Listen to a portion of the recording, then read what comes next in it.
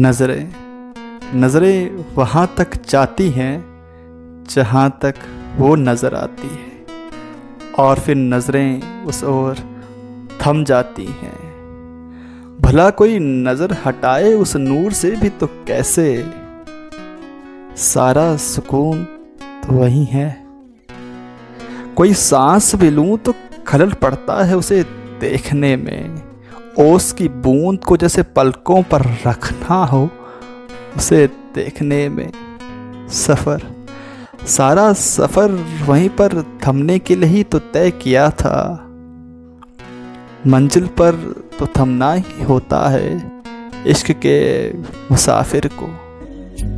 आप हमारी जान